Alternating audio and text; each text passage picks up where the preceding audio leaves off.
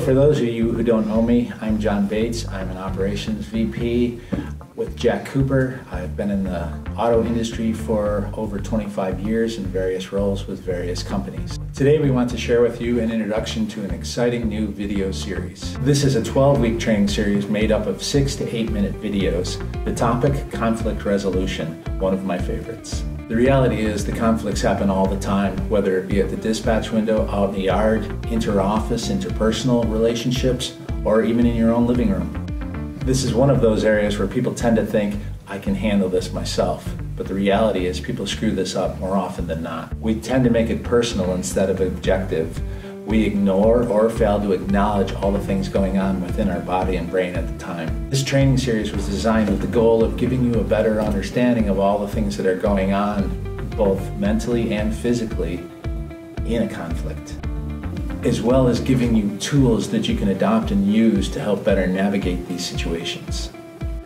It would be great if all conflicts could be avoided, but that's simply not reality. In management, you often have to initiate situations that could well result in conflict. The majority of this training series will be presented to you by Myra Golden. Myra is an expert in helping big corporations such as McDonald's and Walmart with the process of de-escalation and conflict resolution. I challenge you throughout this series to not go into it with the thought that, oh, I can handle this, I know what I'm doing, I have experience. The reality is, is we're probably not that good at it, and Myra will give you tools that'll certainly help you along the way.